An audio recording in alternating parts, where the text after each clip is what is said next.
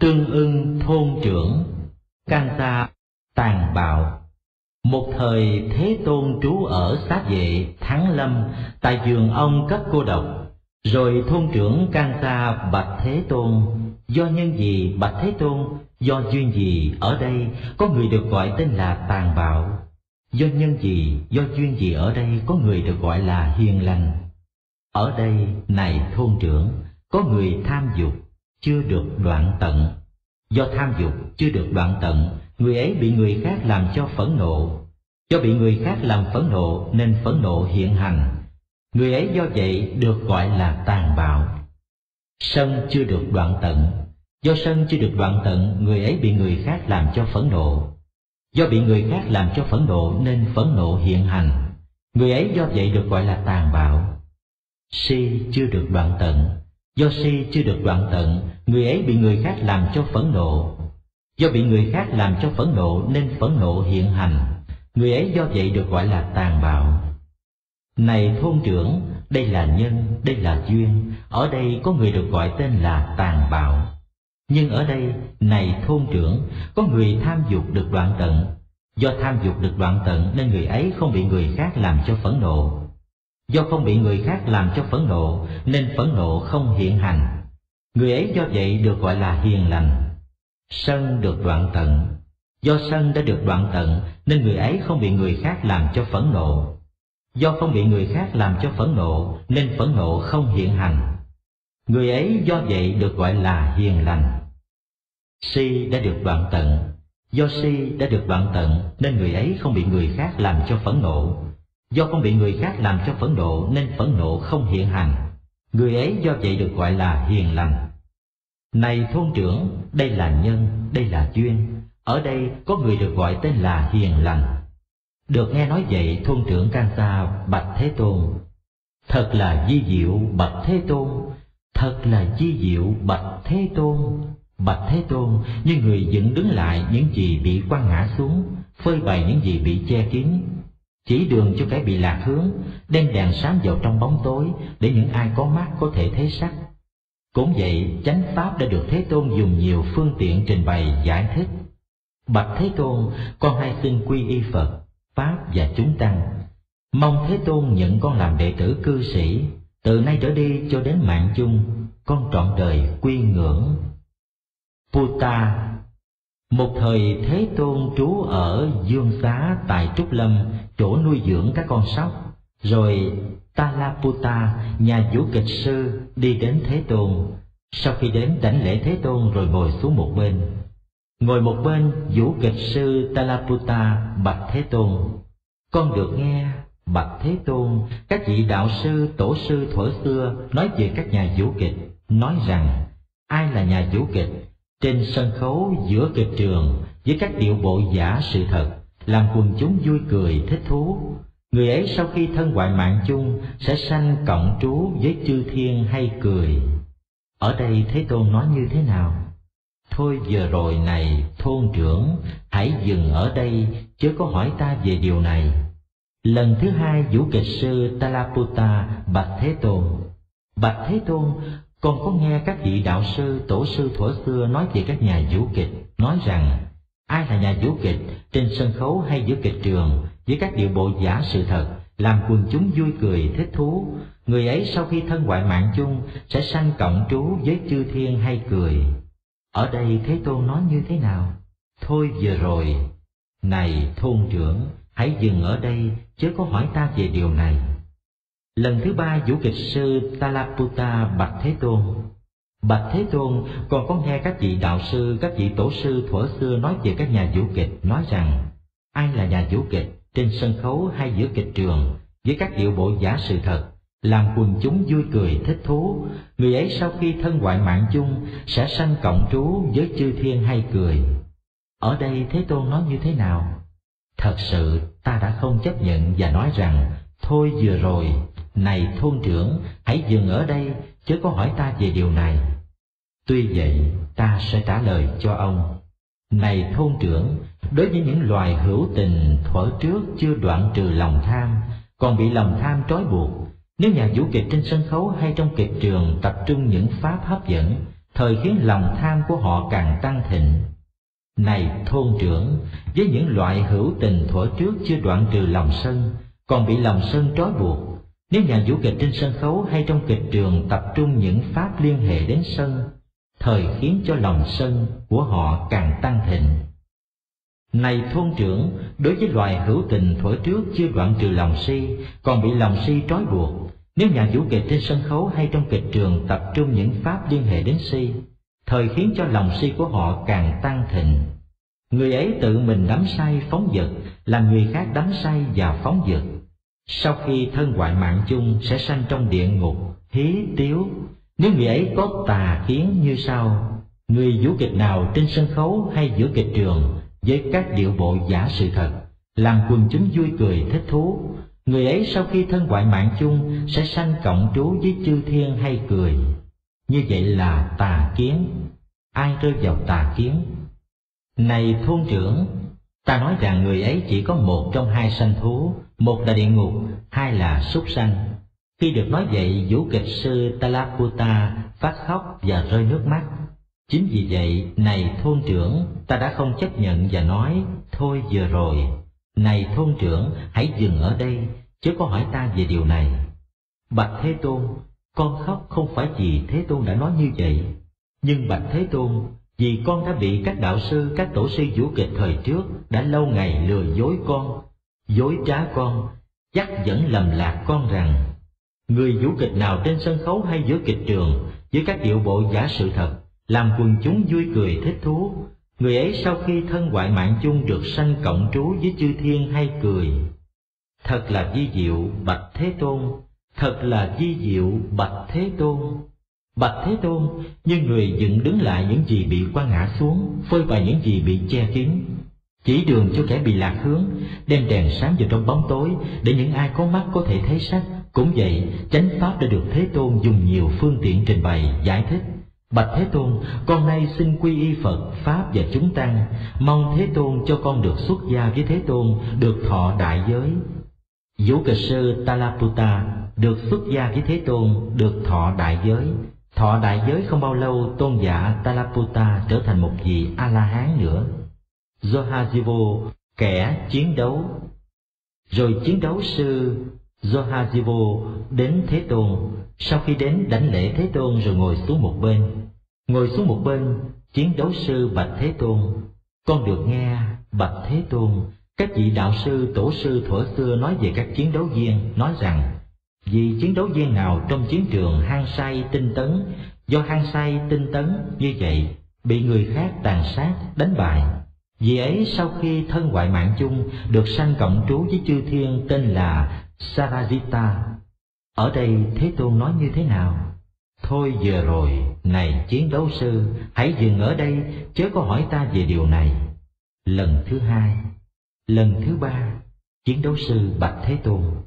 Bạch Thế Tôn, con được nghe các vị đạo sư, tổ sư thuở xưa nói về các chiến đấu viên, nói rằng vì chiến đấu viên nào trong chiến trường hăng say tinh tấn Do hang say tinh tấn như vậy, bị người khác tàn sát đánh bại. Vì ấy sau khi thân ngoại mạng chung được sanh cộng trú với chư thiên tên là Sarajita, ở đây Thế Tôn nói như thế nào? Thật sự ta đã không chấp nhận và nói rằng Thôi vừa rồi, này chiến đấu sư, hãy dừng ở đây, chớ có hỏi ta về điều này. Tuy vậy ta sẽ trả lời này thôn trưởng, đối với chiến đấu viên nào trong chiến trường hăng say tinh tấn, tâm của vị ấy trước đó phải có những ý nghĩ thấp kém, ác ý, ác nguyện như sau.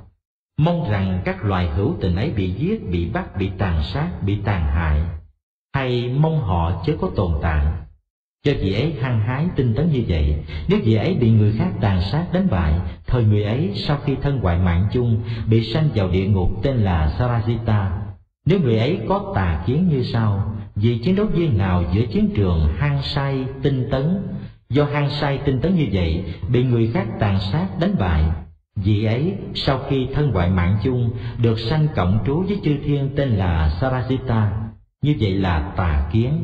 Ai rơi vào tà kiến này? Này chiến đấu sư, ta nói rằng người ấy chỉ có một trong hai sanh thú, một là địa ngục, hai là súc sanh. Khi được nói như vậy, vị chiến đấu sư phát khóc rơi nước mắt. Chính vì vậy, này thôn trưởng ta không chấp nhận và nói thôi vừa rồi này chiến đấu sư hãy dừng ở đây chớ có hỏi ta về điều này. Bạch thế tôn con khóc không phải vì thế tôn đã nói như vậy nhưng bạch thế tôn, vì con đã bị các đạo sư, các tổ sư, các chiến đấu viên thuở trước, đã lâu ngày lừa dối con, dối trá con, dắt dẫn con lầm lạc, nói rằng, ai là người chiến đấu viên giữa các chiến trường hang say tinh tấn?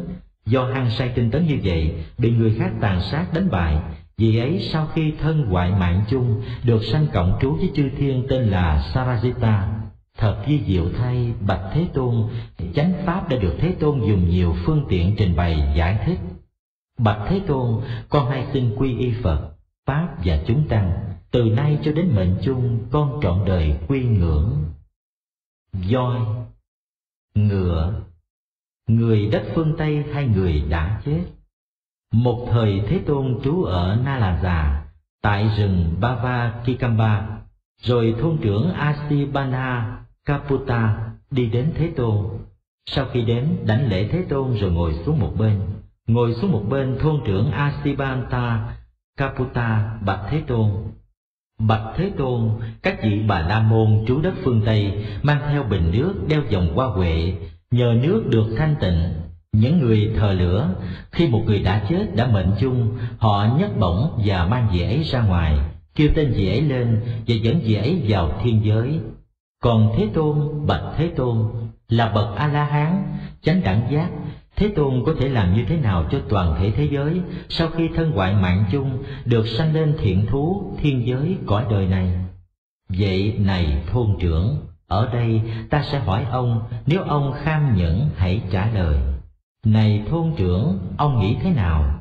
Ở đây một người sát sanh, lấy của không cho, sống theo tà hạnh trong các dục, nói láo, nói hai lưỡi, nói lời độc ác, nói lời phù phiếm, tham lam, sân hận, theo tà kiến. Rồi một quần chúng đông đảo tụ tập, tụ họp lại, cầu khẩn tán dương chắp tay đi cùng khắp và nói rằng, mong người này sau khi thân ngoại mạng chung được sanh lên thiện thú thiên giới cõi đời này. Ông nghĩ thế nào? Này thôn trưởng, người ấy do nhân cầu khẩn của đại quần chúng ấy, hay do nhân tán dương, hay do nhân chắp tay đi cùng khắp, sau khi thân hoại mạng chung người ấy được sanh lên thiện thú thiên giới cõi đời này. Thưa không, bạch thế tôn, ví như này, thôn trưởng, có người lấy một tảng đá lớn ném xuống một hồ nước sâu, rồi một quần chúng đông đảo tụ tập, tụ họp lại, cầu khẩn, tán dương, chắp tay đi cùng khắp và nói rằng, hãy đứng lên, tảng đá lớn, hãy nổi lên, tảng đá lớn, hãy trôi vào bờ này tảng đá lớn. Ông nghĩ thế nào? Này thôn trưởng, tảng đá lớn ấy do nhân cầu khẩn của đại quần chúng ấy, hay do nhân tán dương, hay do nhân chắp tay đi cùng khắp, có thể trồi lên hay nổi lên, hay trôi dạt vào bờ không? Thưa không, bạch Thế Tôn. Cũng vậy, này thôn trưởng, người nào sát sanh lấy của không cho, sống theo tà hạnh trong các dục, nói láo, nói hai lưỡi, nói lời độc ác, nói lời phù phiếm, tham lam, sân hận, theo tà kiến. Rồi một quần chúng trong đảo tụ tập tụ họp lại, cầu khẩn tán dương chắp tay đi cùng khắp và nói rằng, mong người này sau khi thân hoại mạng chung, được sanh lên thiện thú thiên giới cõi đời này. Nhưng người ấy sau khi thân hoại mạng chung phải sanh vào cõi dữ, ác thú, đọa xứ, địa ngục. Ông nghĩ thế nào, này thôn trưởng? Ở đây có người từ bỏ sát sanh, từ bỏ lấy của không cho từ bỏ sống tà hạnh trong các dục, từ bỏ nói láo, từ bỏ nói hai lưỡi, từ bỏ nói lời độc ác, từ bỏ nói lời phù phiếm, không có tham, không có sân hận, có chánh tri kiến. Rồi một quần chúng đông đảo tụ tập, tụ họp lại cầu khẩn tán dương, chắp tay đi cùng khắp và nói rằng, mong người này sau khi thân hoại mạng chung, được sanh vào quả dữ, ác thú, đọa xứ, địa ngục. Ông nghĩ thế nào? Này thôn trưởng, người ấy do nhân cầu khẩn của quần chúng đông đảo ấy, hay do nhân tán dương, hay do nhân chấp tay đi cùng khắp, sau khi thân hoại mạng chung, có thể sanh vào quả dữ ác thú đọa xứ địa ngục không? Thưa không, bạch Thế Tôn. Ví như này thôn trưởng, có người nhận chìm một ghè sữa đông hay một ghè dầu vào trong một hồ nước sâu rồi đập bể ghè ấy. Ở đây, ghe ấy trở thành từng miếng dụng hay từng mảnh dụng và chìm xuống nước. Còn sữa đông hay dầu thời nổi lên trên, rồi một quần chúng đông đảo tụ tập tụ họp lại cầu khẩn tán dương, chắp tay đi cùng khắp và nói, hãy chìm xuống, này sữa đông và dầu, hãy chìm sâu xuống, này sữa đông và dầu, hãy chìm xuống tận đáy, này sữa đông và dầu. Ông nghĩ thế nào, này thôn trưởng? Sữa đông ấy, dầu ấy, có do nhân cầu khẩn của đám quần chúng đông đảo ấy, do nhân tán dương, do nhân chắp tay đi cùng khác của quần chúng đông đảo ấy, nên bị chìm xuống hay chìm sâu xuống, hay đi xuống tận đáy không? Thưa không, bạch thế tôn, cũng vậy, này thôn trưởng, có người từ bỏ sát sanh, từ bỏ lấy của không cho, từ bỏ sống tà hạnh trong các dục, từ bỏ nói láo, từ bỏ nói hai lưỡi, từ bỏ nói lời độc ác từ bỏ nói lời phù phiếm, không có tham, không có sân, theo chánh tri kiến. Rồi một quần chúng đông đảo tụ tập tụ họp lại cầu khẩn tán dương, chắp tay đi cùng khắp và nói, mong rằng người này sau khi thân ngoại mạng chung sẽ sanh vào quả dữ ác thú, đọa xứ, địa ngục. Nhưng người ấy sau khi thân ngoại mạng chung sẽ sanh lên thiện thú, thiên giới, cõi đời này. Khi nghe nói như vậy, thôn trưởng Asibanda Kaputa bạch Thế Tôn khi diệu thay bạch Thế Tôn, chánh pháp đã được Thế Tôn dùng nhiều phương tiện trình bày giải thích. Bạch Thế Tôn, con hay xin quy y Phật, Pháp và chúng tăng, từ nay cho đến mệnh chung con trọn đời quy ngưỡng. Thuyết Pháp Một thời Thế Tôn trú ở Nalanda tại rừng Bava Kipamba, rồi thôn trưởng Asibanda Kaputta đi đến Thế Tôn sau khi đến đảnh lễ Thế Tôn rồi ngồi xuống một bên. Ngồi xuống một bên, thôn trưởng Asibanda Kapota bạch Thế Tôn. Bạch Thế Tôn, có phải Thế Tôn sống vì hạnh phúc, vì lòng thương tưởng đối với tất cả chúng sanh và loài hữu tình? Đúng vậy, này thôn trưởng, Như Lai sống vì hạnh phúc, vì lòng thương tưởng đối với tất cả chúng sanh và loài hữu tình. Nhưng vì sao Bạch Thế Tôn đối với một số người Thế Tôn thuyết pháp một cách hoàn toàn trọn vẹn? Đối với một số người Thế Tôn thuyết pháp không hoàn toàn trọn vẹn như vậy? Vậy này thôn trưởng Ở đây ta sẽ hỏi ông Ông kham nhẫn như thế nào? Hãy trả lời như vậy. Ông nghĩ thế nào? Này thôn trưởng Ở đây một người cày ruộng có ba thửa ruộng. Một loại tốt, một loại bậc trung, một loại xấu Đất cứng có chất muối, đất độc. Ông nghĩ thế nào, này thôn trưởng? Người cày ruộng ấy muốn gieo hột giống, thời gieo ở thửa ruộng nào trước? Ruộng tốt hay ruộng bậc trung hay ruộng loại xấu? Đất cứng có chất muối, đất độc. Bạch Thế Tôn, người gia chủ cày ruộng muốn gieo hột giống, gieo vào thửa ruộng tốt. Sau khi gieo ở đấy xong, lại gieo vào thửa ruộng loại trung. Sau khi gieo ở đấy xong, vị ấy có thể gieo hay không gieo hạt giống vào thửa ruộng loại xấu, đất cứng có chất muối, đất độc. Vì sao? Tối thiểu cũng có thể làm món ăn cho các trâu bò. Ví như thửa ruộng tốt, này thôn trưởng, là các tỳ kheo, tỳ kheo ni của ta. Đối với họ, ta thuyết pháp sơ thiện, trung thiện, hậu thiện, có nghĩa, có văn. Ta nói lên cho họ biết đời sống phạm hạnh hoàn toàn viên mãn, thanh tịnh. Vì sao? Này thôn trưởng, vì họ sống lấy ta làm ngọn đèn, lấy ta làm hang ẩn, lấy ta làm chỗ che chở, lấy ta làm chỗ nương tựa.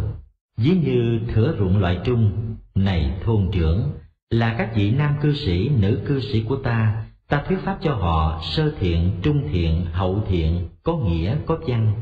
Ta nói lên cho họ biết đời sống phạm hạnh hoàn toàn viên mãn, thanh tịnh. Vì sao? Này thôn trưởng, vì họ sống lấy ta làm ngọn đèn, lấy ta làm hang ẩn, lấy ta làm chỗ che chở, lấy ta làm chỗ nương tựa ví như thửa ruộng xấu, đất cứng, có chất muối, đất độc. Này thôn trưởng, là các ngoại đạo sa môn, bà la môn, du sĩ. Ta thuyết pháp cho họ sơ thiện, trung thiện, hậu thiện, có nghĩa, có văn. Trình bày cho họ biết đời sống phạm hạnh hoàn toàn viên mãn, thanh tịnh. Vì sao?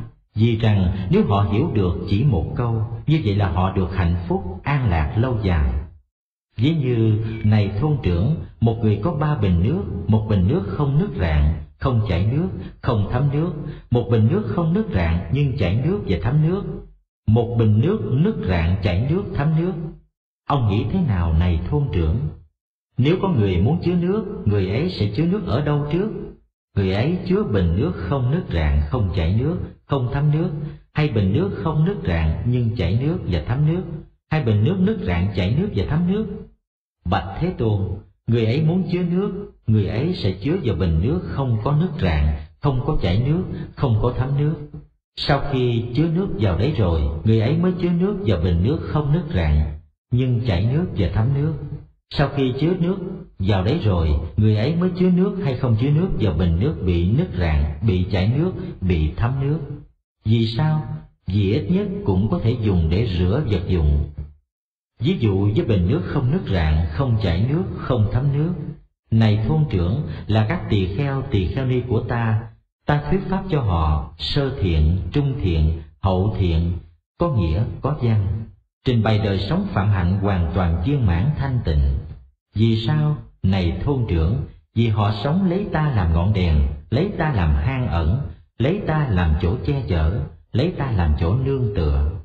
Ví dụ với cái bình nước không nước rạn nhưng chảy nước và thấm nước. Này thôn trưởng, là các nam cư sĩ, nữ cư sĩ của ta, ta thuyết pháp cho họ sơ thiện, trung thiện, hậu thiện, có nghĩa, có văn, trình bày đời sống phạm hạnh hoàn toàn viên mãn thanh tịnh. Vì sao, này thôn trưởng, vì họ lấy ta làm ngọn đèn, lấy ta làm hang ẩn, lấy ta làm chỗ che chở, lấy ta làm chỗ nương tựa. Ví dụ với cái bình nước bị nứt rạn, bị chảy nước, bị thấm nước.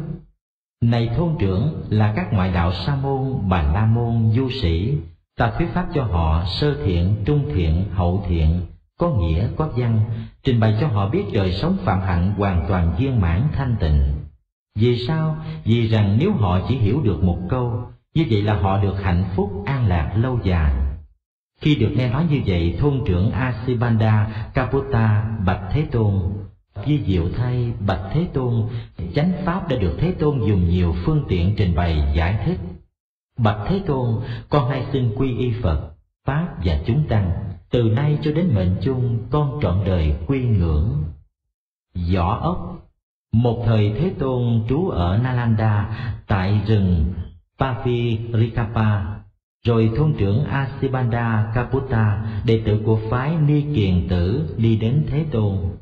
Thế Tôn nói với thôn trưởng Asibanda Kaputa đang ngồi một bên. Này thôn trưởng Niganta Natabutta, thuyết pháp như thế nào cho chúng đệ tử? Bạch Thế Tôn Niganta Natabutta, thuyết pháp cho chúng đệ tử như sau. Ai sát hại sanh mạng tất cả phải sanh vào đọa xứ địa ngục. Ai lấy của không cho, tất cả phải sanh vào đọa xứ địa ngục. Ai sống tà hạnh trong các dục, tất cả phải sanh vào đọa xứ địa ngục. Ai nói láo, tất cả phải sanh vào đọa xứ địa ngục. Phàm sống tối đa tối đa như thế nào, chiều hướng ấy sanh thú của họ sẽ như vậy. Như vậy, bạch thế tôn niganta nataputta thuyết pháp cho các đệ tử phàm sống tối đa tối đa như thế nào, này thôn trưởng, chiều hướng ấy sanh thú cho họ sẽ như vậy. Nếu sự thật là vậy, thời sẽ không có ai phải sanh vào đọa xứ địa ngục như lời của niganta nataputta ông nghĩ thế nào, này thôn trưởng? Có người sát hại sanh mạng ban đêm hay ban ngày, hay thỉnh thoảng làm, thời nào là nhiều hơn? Thời vị ấy sát hại sanh mạng, hay thời vị ấy không sát hại sanh mạng? Bạch Thế Tôn, có người sát hại sanh mạng ban đêm hay ban ngày, hay thỉnh thoảng làm. Thời này là ít hơn, là thời vị ấy sát hại sanh mạng, và thời kia là nhiều hơn, thời vị ấy không sát hại sanh mạng. Phàm sống tối đa, tối đa như thế nào, này thôn trưởng, chiều hướng ấy sanh thú của vị ấy sẽ như vậy. Nếu sự thật là vậy, thời sẽ không có ai phải sanh vào đọa xứ địa ngục như lời của Niganta Natabutta Ông nghĩ thế nào này thôn trưởng? Có người lấy của không cho, ban đêm hay ban ngày, hay thỉnh thoảng làm, thời nào là nhiều hơn, thời vị ấy lấy của không cho, hay thời vị ấy không lấy của không cho? Bạch Thế Tôn, có người lấy của không cho, ban đêm hay ban ngày, hay thỉnh thoảng làm, thời này là ít hơn, thời vị ấy lấy của không cho, và thời kia là nhiều hơn, thời dễ ấy không lấy của không cho.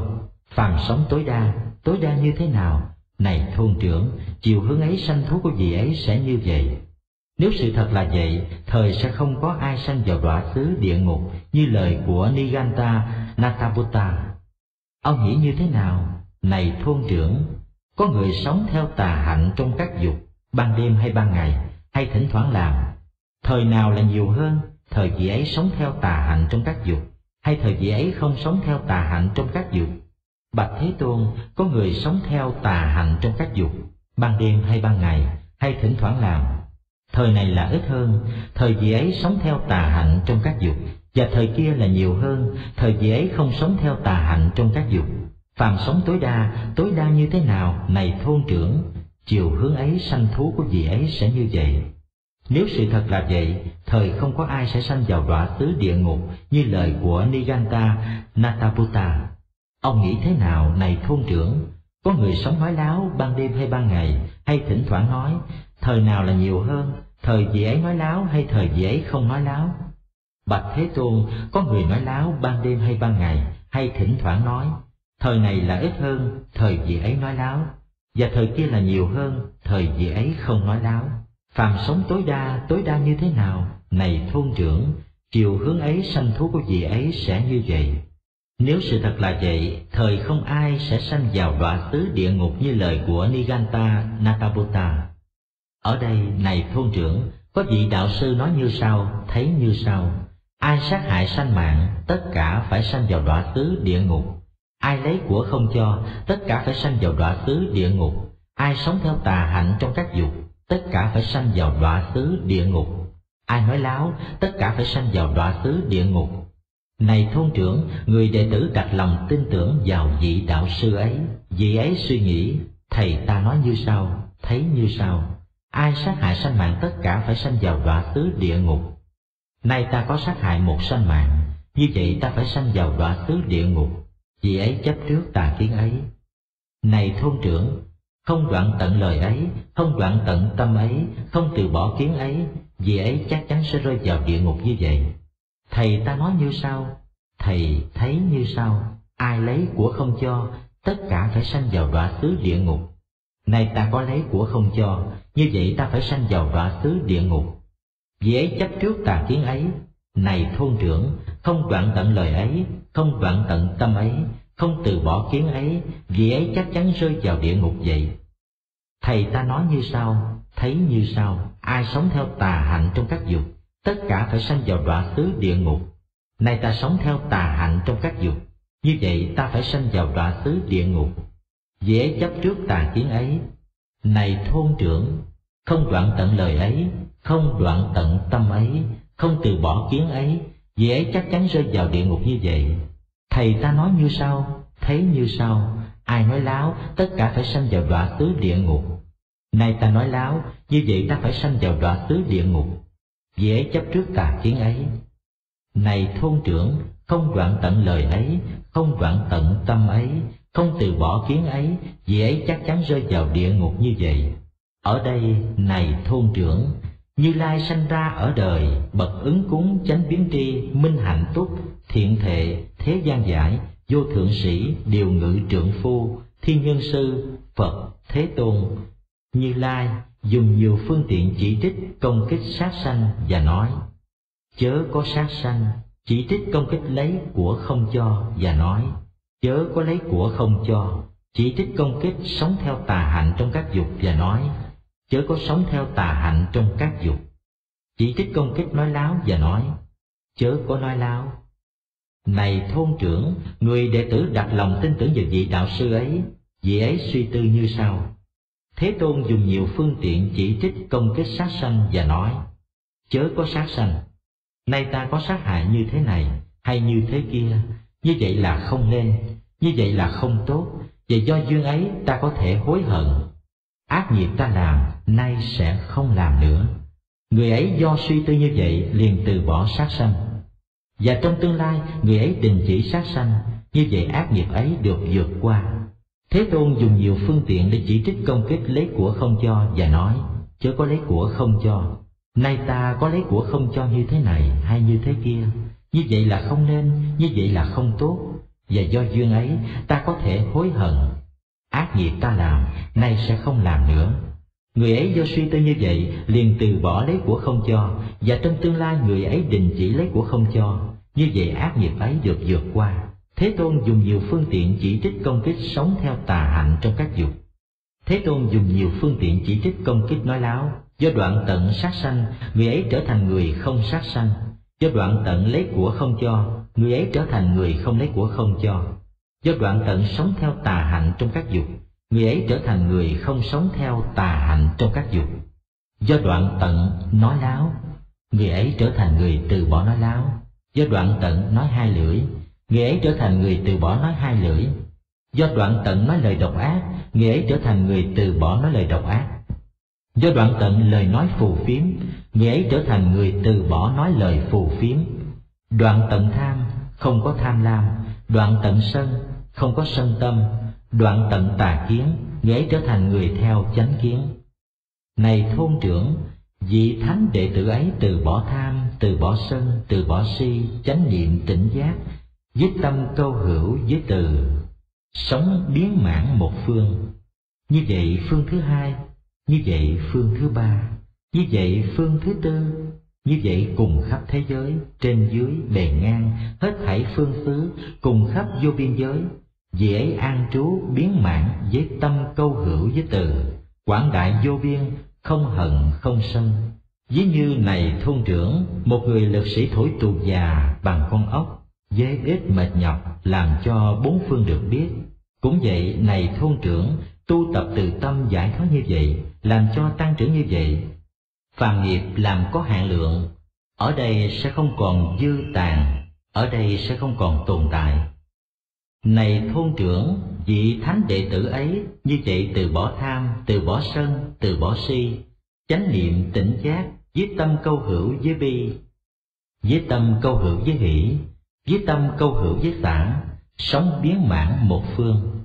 Như vậy phương thứ hai, như vậy phương thứ ba, như vậy phương thứ tư, như vậy cùng khắp thế giới trên dưới bề ngang hết thảy phương xứ cùng khắp vô biên giới vị ấy an trú biến mãn với tâm câu hữu với xã quảng đại vô biên không hận không sân ví như này thôn trưởng một người lực sĩ thổi tù già với ít mệt nhọc làm cho bốn phương được biết cũng vậy này thôn trưởng tu tập xả tâm giải thoát như vậy làm cho tăng trưởng như vậy phàm nghiệp làm có hạn lượng ở đây sẽ không còn dư tàn ở đây sẽ không còn tồn tại khi được nghe nói vậy, thôn trưởng Asibanda Kaputa bạch Thế Tôn Di diệu thay bạch Thế Tôn, chánh pháp đã được Thế Tôn dùng nhiều phương tiện trình bày giải thích.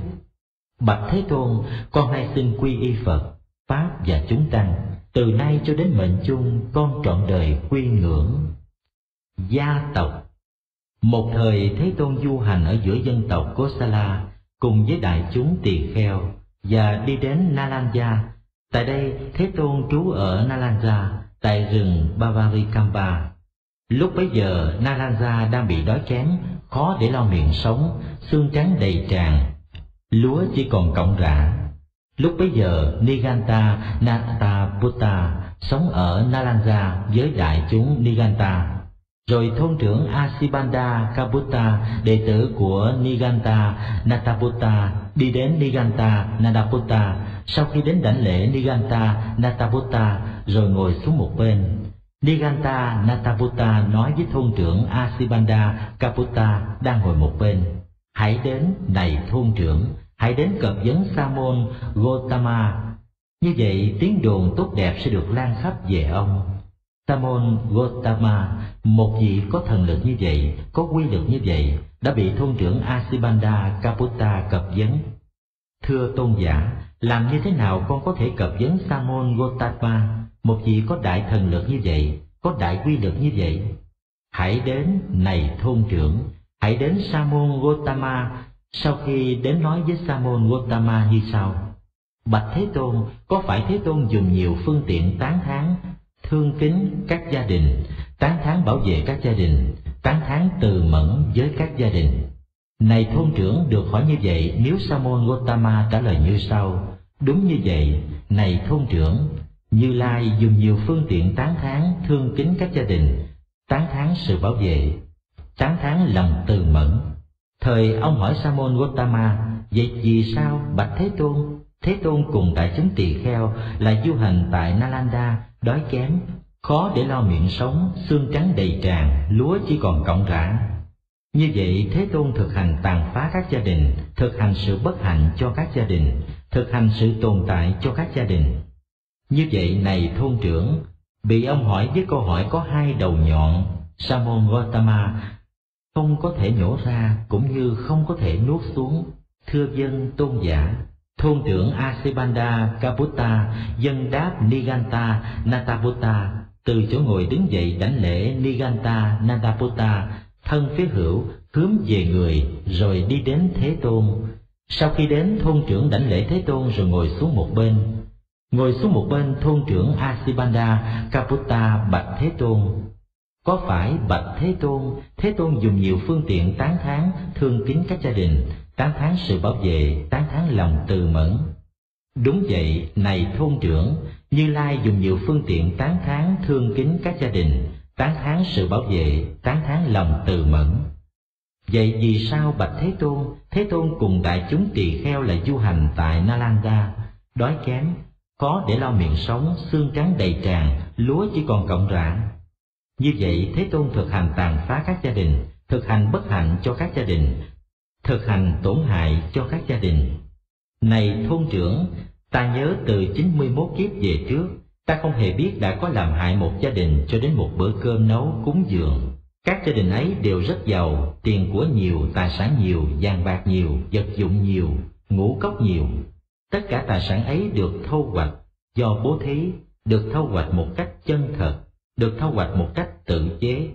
Này thôn trưởng, có tám nhân, có tám duyên làm tồn tại các gia đình. Do quốc dương, các gia đình đi đến tổn hại, hay do trộm cướp, các gia đình đi đến tổn hại, hay do lửa, các gia đình đi đến tổn hại, hay do nước, các gia đình đi đến tổn hại, hay do tiền không được tiền của dấu cất, hay do biến nhát, họ bỏ bê công việc, hay trong gia đình khởi lên kẻ phá hoại gia đình, người ấy phân tán phá hoại làm tổn hại. Và vô thường là thứ tám. Này thôn trưởng, chính tám nhân tám duyên này làm tổn hại các gia đình. Này thôn trưởng, vì rằng tám nhân này, tám duyên này có mặt, có hiện hữu, nếu ai nói về ta như sau, Thế Tôn thực hành tàn phá các gia đình, thực hành bất hạnh cho các gia đình, thực hành tổn hại cho các gia đình. Thời này thôn trưởng, nếu người ấy không bỏ lời nói ấy, không bỏ tâm ấy, không từ bỏ kiến ấy, chắc chắn người ấy sẽ bị ném vào địa ngục như vậy. Khi được nói vậy, thôn trưởng Asibanda Kaputta bạch Thế Tôn, di diệu thay bạch Thế Tôn, chánh pháp đã được Thế Tôn dùng nhiều phương tiện trình bày giải thích. Bạch Thế Tôn, con hay xin quy y Phật, Pháp và chúng tăng, từ nay cho đến mệnh chung con trọn đời quy ngưỡng. Manikulam, châu báu trên đỉnh đầu một thời Thế Tôn trú ở Rajagaha, Dương Xá, Trúc Lâm, tại chỗ nuôi dưỡng các con sóc. Lúc bấy giờ trong cung vua, quần thần nhà vua đang ngồi tụ họp. Câu chuyện sau đây được khởi lên. Các sa môn thuộc dòng thích tử được phép dùng vàng bạc.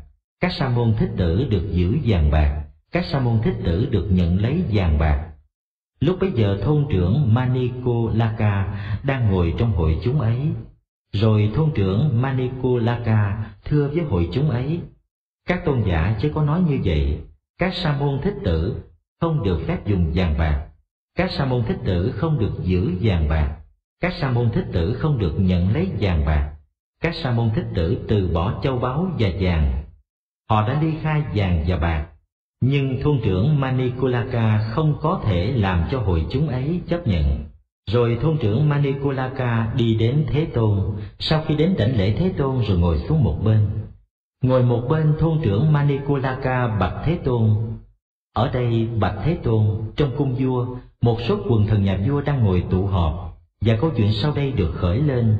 Các sa môn thích tử được phép dùng vàng bạc, các sa môn thích tử được giữ vàng bạc, các sa môn thích tử được nhận lấy vàng bạc, khi được nói vậy, Bạch Thế Tôn còn nói với hội chúng ấy, các tôn giả chứ có nói như vậy, các sa môn thích tử không được phép dùng vàng bạc, các sa môn thích tử không được giữ vàng bạc, các sa môn thích tử không được nhận lấy vàng bạc, các sa môn thích tử từ bỏ châu báu và vàng, họ đã ly khai vàng và bạc. Nhưng bạch Thế Tôn, con không có thể làm cho hội chúng ấy chấp nhận. Trả lời như vậy, bạch Thế Tôn không biết con có nói đúng lời Thế Tôn. Con không xuyên tạc Thế Tôn với điều không thật. Con đã trả lời thuận pháp, đúng pháp và không một ai nói lời tương ứng đúng pháp có lý do để chỉ trích. Trả lời như vậy, này thôn trưởng, ông nói đúng lời của ta. Ông không xuyên tạc ta với điều không thật. Ông đã trả lời thuận pháp, đúng pháp và không một ai nói lời tương ứng đúng pháp có lý do để chỉ trích. Này thôn trưởng, các sa môn thích tử không được phép dùng vàng bạc. Các sa môn thích tử không được giữ vàng bạc. Các sa môn thích tử không được nhận lấy vàng bạc. Các sa môn thích tử đã từ bỏ châu báu và vàng bạc. Họ đã ly khai vàng và bạc. Đối với ai được dùng vàng bạc, người ấy cũng được phép dùng năm dục công đức. Đối với ai được phép dùng năm dục công đức, người ấy hoàn toàn thọ trì phi sa môn pháp, phi thích tử pháp. Này thôn trưởng, ta nói như sau, cỏ được đi tìm cầu bởi ai cần đến cỏ, củi được đi tìm cầu bởi ai cần đến củi, cổ xe được đi tìm cầu bởi ai cần đến cổ xe, người được đi tìm cầu bởi ai cần đến người. Nhưng này thôn trưởng, không bất cứ một lý do gì ta nói rằng vàng bạc được chấp nhận, được tìm cầu. Bát ra